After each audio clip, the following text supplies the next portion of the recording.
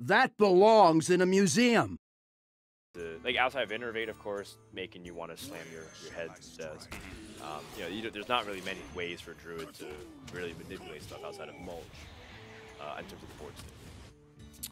Interesting. Chooses to go for the two damage on the 3-3 despite it, you know, not affecting the breakpoints on the trade into the 4-6, but I guess that's just enforcing Eloise to trade it. So, you know, essentially you're just threatening it to get swiped next turn or hero-powered next turn. So by shooting the two damage into the 3-3, you kind of obligate her to send it into the 4-3, the 4-6, regardless of what else she wants to do with her turn.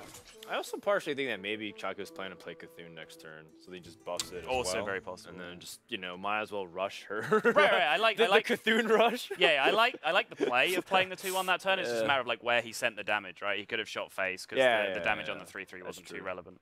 That's true. It is the force that way. So how big is the C'Thun? It's at least a 10-10 from what I remember. I don't know if he's playing anything besides the C'Thun's chosen. I think it's just C'Thun's chosen. And So if he yeah. sends six into the Ysera, he has out of four out of ten have to hit.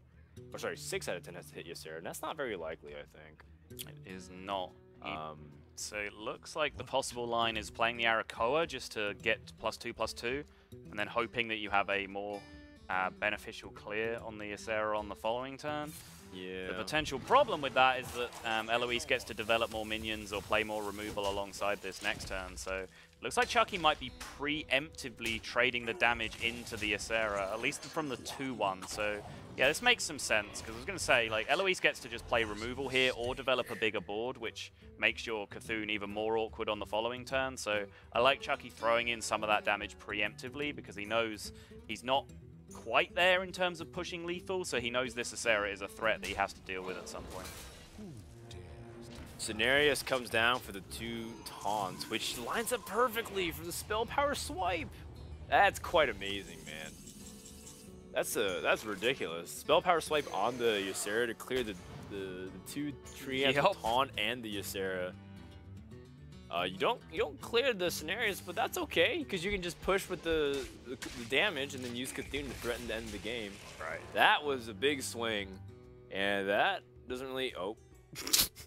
well, I was like, there's not many ways you can come back from that, but Deathwing is one of them. Yeah, you, you know that cast Here, although I think that means Eloise might be doomed to die. Yeah, I think she is almost certainly It's dead. She can death. develop 6 health onto the board. The C'Thun is at least a 12-12, so it goes back up to 6 health. Yeah, is it 14-14 now? I think it's 13. 13. Oh, 13, 13.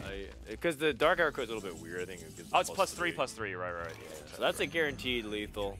Uh, and I don't know if uh, you, don't- you don't really play as if C'Thun is in the hand, but you know, a great finish here from Chakki. And overall, the big swing back and forth through some of those swipes and those removals were mm-hmm. ended up being the, the key to win the game.